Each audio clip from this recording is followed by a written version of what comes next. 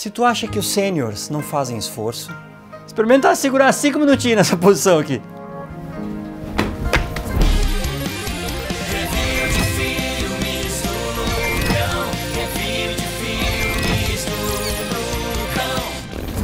Bem-vindos, amiguitos! O review de hoje tem filmes da melhor qualidade. Hã?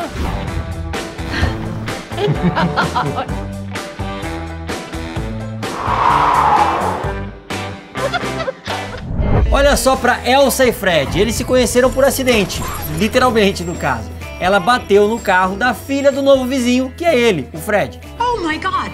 Tinha tudo para dar briga, mas deu match. I'm calling the police. Se esse filme fosse por aqui, a briga ia ser um pouquinho diferente o resultado, né? O casal vivido por um cansado e rabugento Christopher Plummer e uma Shirley MacLaine cheia de vida e sonhos românticos tem a química perfeita. The path to life is long. Who said that? Gandhi? Mother Teresa of Calcutta? Rocky Balboa? E o filme acaba virando lição de vida. Nunca é tarde demais para o amor. I am a teenager. Yes, you are. A girl in the body of a woman. A very beautiful woman. Se nunca é tarde pro amor, imagina para perseguir um sonho, mesmo que ele não seja real, como em Nebraska. Bruce Dern acredita que ganhou um milhão de dólares que estariam em Nebraska. What million dollars? We are now authorized to pay $1 million to Woodrow T. Grant of Billings, Montana.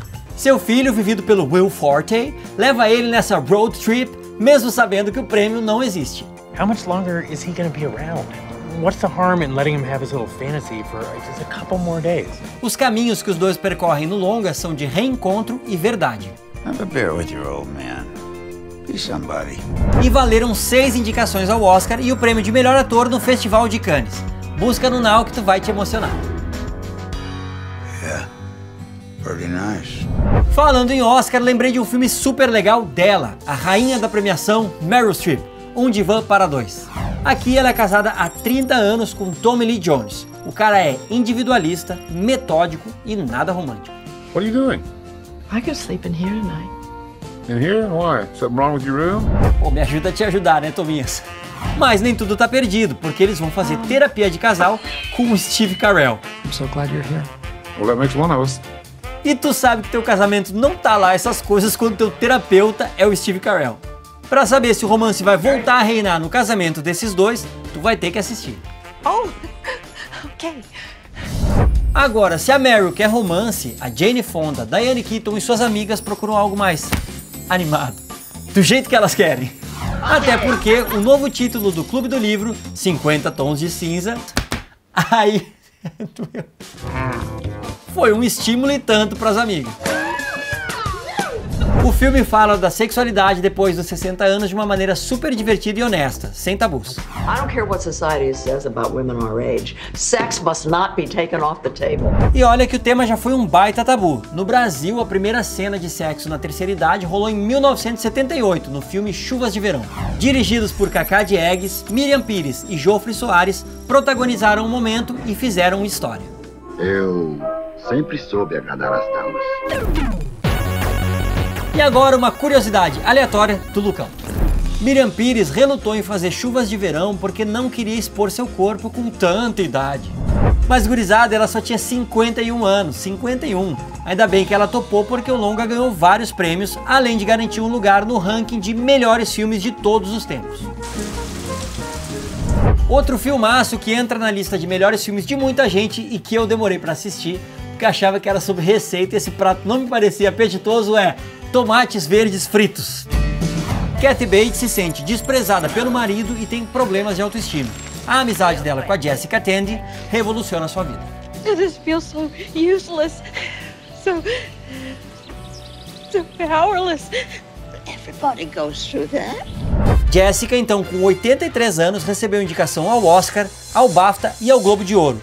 E por ser um filme lindo e emocionante, a nota que eu dou para Tomates Verdes Fritos é de 5 tomatinhos bem verdinhos, bem fritinhos do Review do Lucão. What I wouldn't give for a plate of fried green tomatoes like we used to have at the cafe. Tá vendo como nunca é tarde? Essa galera encontrou um amor, deu um up no casamento, viajou o país, redescobriu a sexualidade e ainda fez novos amigos. Mas para os caras que eu vou falar agora, tudo isso é fichinha. Será que tem limite para eles? Em Antes de Partir, Deus e o Coringa resolvem gabaritar a lista de desejos dos dois. Skydiving. Em inglês é bucket list, mas eu prefiro chamar o que os dois fazem no filme de rolê do baldio dos tiozinho campeão. Campeões igual ao meu eterno campeão, Rock Balboa. No sexto filme da franquia, Rock o Lutador não perdeu o fôlego. Então, com 60 anos, Sylvester Stallone dirigiu, atuou e lutou. Aliás, para ficar bem na foto, no vídeo no caso, a primeira sequência rodada foi a luta de Rock e Mason Dixon. Tudo isso para o garanhão italiano aparecer no auge da sua forma física, que poderia ser perdida com a dedicação ao trabalho de direção. Algumas cenas de uma luta real também foram usadas no filme. Stallone levantou os braços no ringue e a arena lotada gritou o nome de Rock. Se isso não é zerar a vida, eu não sei o que, que é. Agora me diz, que filme sobre essa fase da vida tu acha que eu devo assistir? Hashtag vintage, hashtag review do Lucão, hashtag tá tudo no não, hashtag velha teu preconceito, hashtag tem vaga preferencial, hashtag já vacinou. Até mais, amiguitos! Esses filmes me inspiraram a fazer a minha bucket list. Eu sei que tá super cedo, né? Mas planejamento é tudo.